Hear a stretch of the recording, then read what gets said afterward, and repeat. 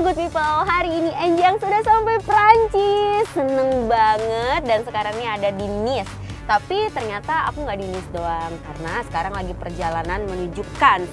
Nanti di Cannes akan mengunjungi yang namanya Thalle Alenia Space atau biasanya disingkat TAS.